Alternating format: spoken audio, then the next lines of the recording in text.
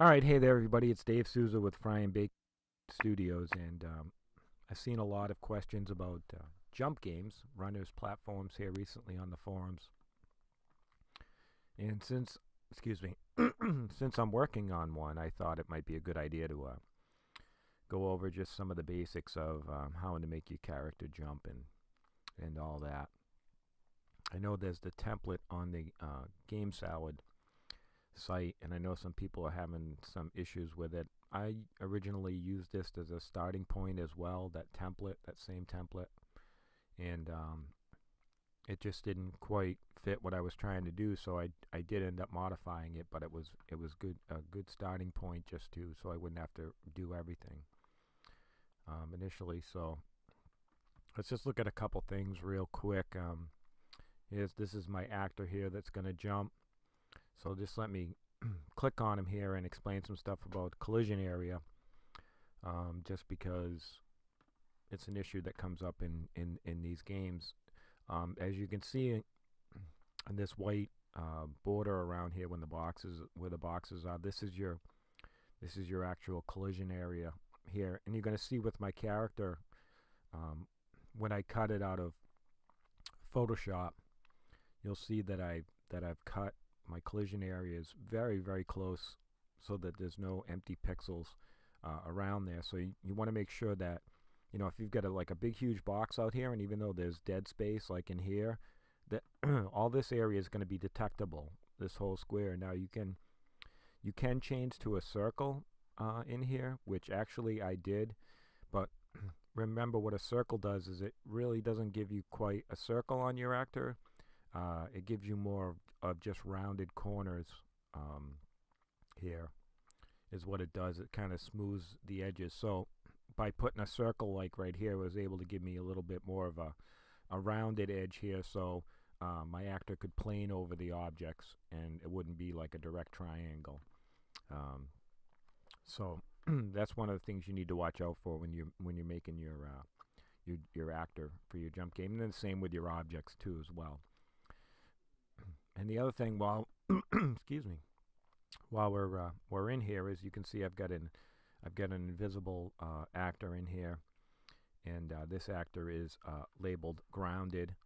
Um, this is what's going to tell my actor that it's um, it's touching the ground and you'll see that there's a collide behavior inside there. It says collide with actor of type uh, behavior, and uh, I don't want him to I don't want him to bounce when he when he hits that ground. I want it to be a solid uh, fall. So this restitution right here in your actors, excuse me, is what controls um, how much bounce is in there. So you want to set that to zero. Okay. So we've got our we've got our actor in our scene, we've got the ground in place, and, and make sure that's checked, not movable. Now, one of the things is um, I see a lot of people talk about gravity. Excuse me. Most um, most advanced GameSalad uh, developers do not use uh, the global uh, gravity settings um, when they're doing a game like this. Because what happens is that like I, these clouds in here move, and there's actually um, shopping carts that come this way, and the, you've got to jump over them. So I've got all these different elements that move around in my scene, and in, a, in more of a traditional platform, you know, you're gonna have platforms that move up and down, or some that move left and right. And so what happens is if you have gl uh, the global gravity setting on, you've got to make sure, you know, all these objects are, are not movable.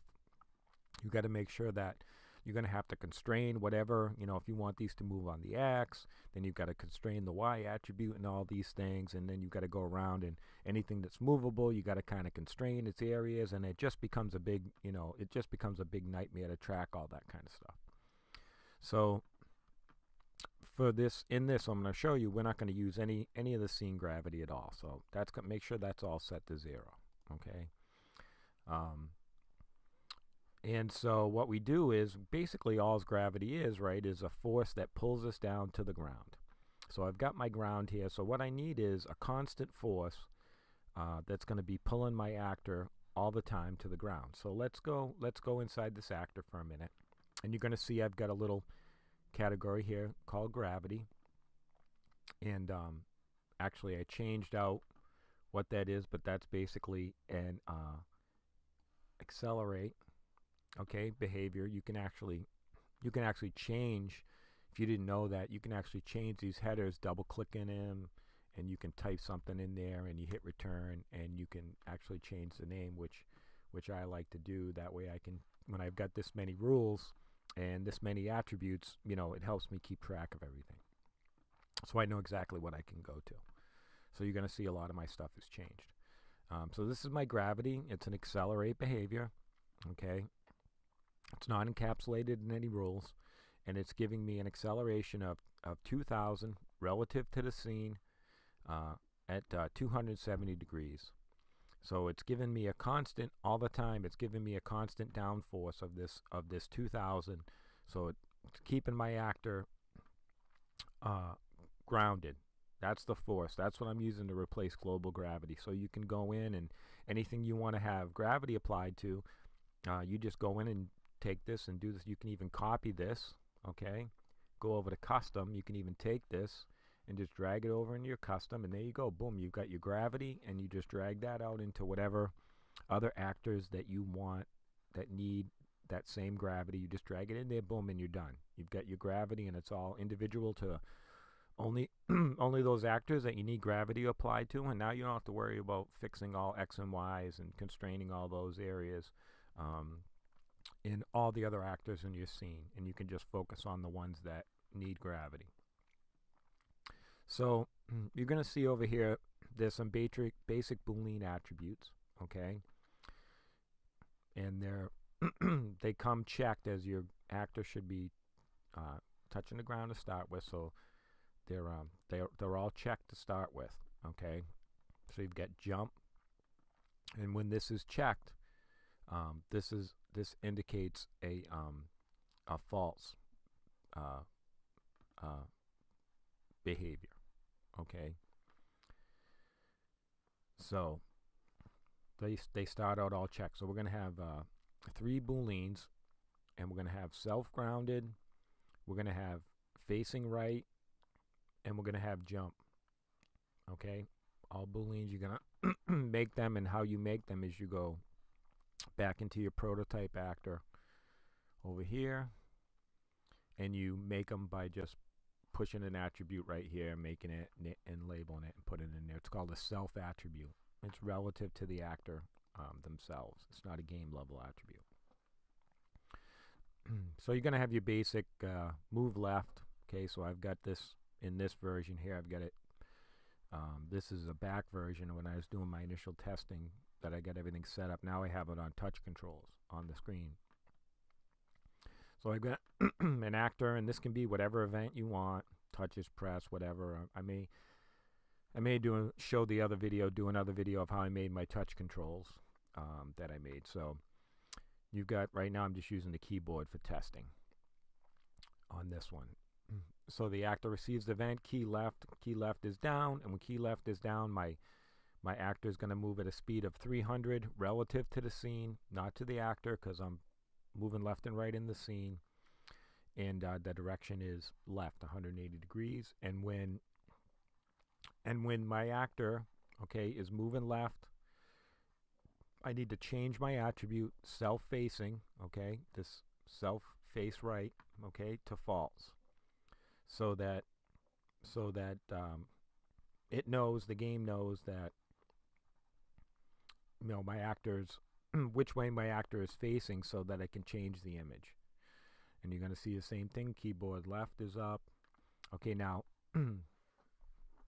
what this rule here does is this stops my I know some people say, "Oh, my my actor keeps moving." You know, after I after I push the key down and then I let up on it, you know, my actor he he just keeps moving. So what I've got is I've got another rule in here that says when the key is up, go to zero, zero direction, zero speed. You know, you want to, you know, you want to have it in the opposite direction of the way that your actor was going. Okay, and you want to set the speed to zero, same way relative to scene, so that when you let the key up, he stops. He doesn't keep moving. And you're going to see these same kind of rules here. Okay, same thing when touches, when keyboard uh, right, arrow key is down. Self facing is going to become true.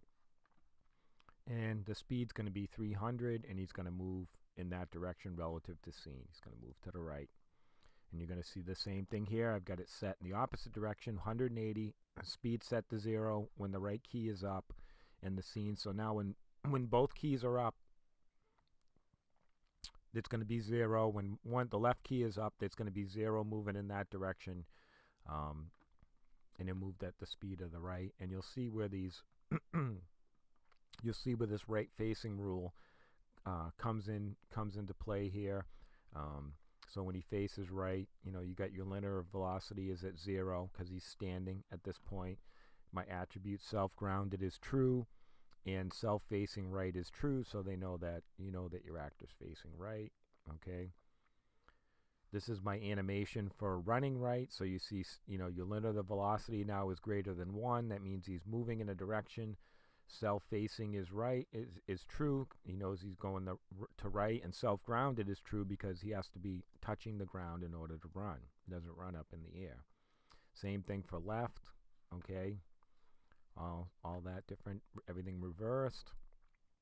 So now let's get into the jump rules here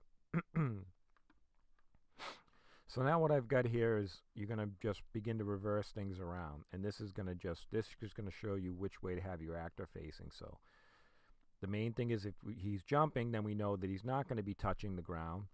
So self-grounded is going to be false okay? And he's facing the right direction so self face right okay? Is going to be true and then I'm going to be using my C key to make him jump. So when I press the C key it's going to look and say okay when I press the C key you'll see he's going to move up in air. Once he's left in the contact with the ground okay it's going to switch the false. It knows it's right and it's going to change the image. Once he leaves contact he's not overlapping or colliding with the ground anymore. It's going to change it to a jump and it knows which which direction it is. Okay, so same thing with these run rules and all that. So, so now here's my basic jump uh, power here.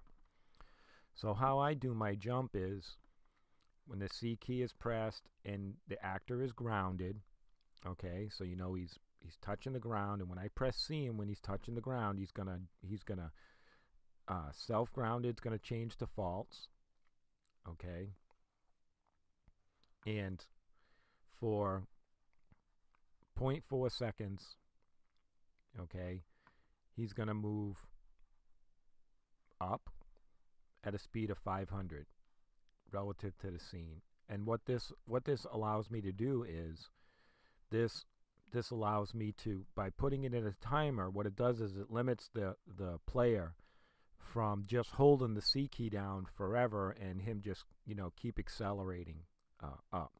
So this puts a limit on, and you can adjust this. This just happened to whatever works for my scene and my gravity and all that. And you can play with the speed and for how long you want him to, you know, to this this the power upward to go. So I've got it for 0.4 seconds. I've got it at a speed of 500. He, he, he goes up and he, he continues to move in that in, in the up direction for uh, 500. And then when you come down here after 0.6 seconds, okay, it auto it auto forces him to the ground. So it doesn't matter if you can you can still have the C key uh, down. Once you first push the C key down, it's gonna it's gonna auto time. Um, he's gonna jump up and uh, he's gonna come down after this. So you can you'll hold it up. Uh, 0.4 seconds. He's gonna be in the air. That's the longest he can be in the air is point. It's to it's be around so 0.5 seconds because he's not to start really coming the other way. So after 0.4, this speed gets shut off.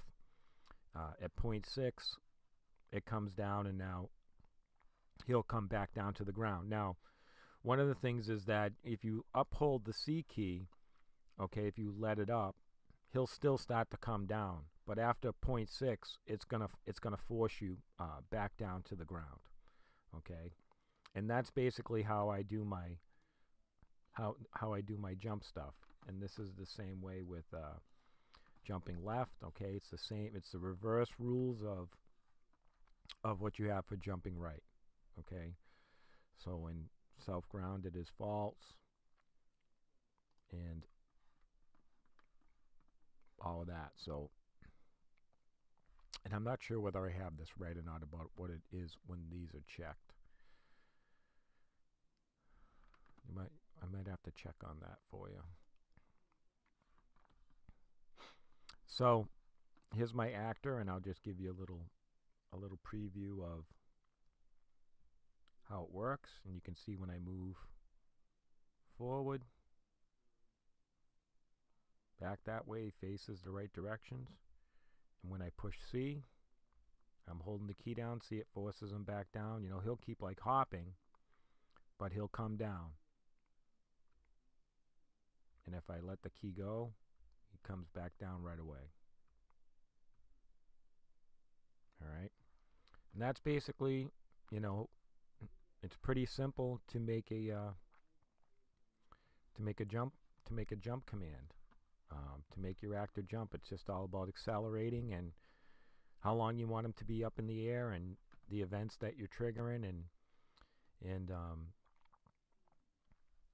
and uh, excuse me and how you're doing so let's just take a peek real quick because I forget this stuff sometimes let's let's do a little I'll show you how to do some uh, game debugging and we'll look and see what the uh, what the rules start out with when they're checked. I can't remember whether they're true or false. So let's just drag an actor on here and what we're going to do is, uh, oh actually we can do it this way. Let's go into our actor. Since there's self attributes we're going to have to go into them. And let's just uh, come over to our behaviors, standard behaviors, and let's grab a uh, let's grab a display text, and we'll just drag that in there, and we'll come over here and we'll just make sure we put a color on there, and we're just going to come over here. we're going to go self. This is that's what my character is called, Baker. Self, and we're going to scroll down to the attributes here, and we'll just look at the jump one. Okay, and this is going to tell us jump when it's checked. Okay, um, because we're not jumping, so it'll tell us what the condition is uh, normally. So let's look at it. And it's true. Okay, so if you check it, all right, that means it's true. If it's off, it's false. So checked is true, and off is false. Okay, so I was just having a little brain fart there, and I forgot please forgive me. Anyway, so I got to show you how to how you can debug stuff. I like to when I'm doing stuff like that, I'll I'll just put it, especially with self attributes, I'll just put it right on my actor so I can see it. So, anyways, I hope some of this, uh, just seeing how uh, a jump jump game goes together, helps you. And I've actually uh, did a uh, I did a some touch controls, and let me see if I can. Uh, there we go. I'll just show you I had built some touch controls and this is how I was testing everything out because they, they interlock how I built it is uh, and I may put I may put this just put the template online and you can mess with it instead of doing a video because I've got it all set up in here uh, just as an individual when I was building it. So basically what this does is I won't be able to show you all of it because it's touch and I can, I can only touch one thing at a time. So basically when you do this it it's going to move right. Uh, when you do this it's going to move left and one actually when these turn to one they actually that's when it triggers whether you're running left and right. And this and these um, these uh, true false these booleans in here what they do is they lock out the first one you're touching down so that when you well, how I've got it set up is so let's say you're running to the right when you touch when you touch the button on the left, when you touch this area on the left, and you already have the uh, right touchdown he'll jump. so I've basically made it so you just using two buttons. Uh, same thing if you're running to the left, it recognizes which one was already touched first, and then when you touch the other side, he'll jump in that left direction, and the same thing on the right direction. So um, that's how I built that all up.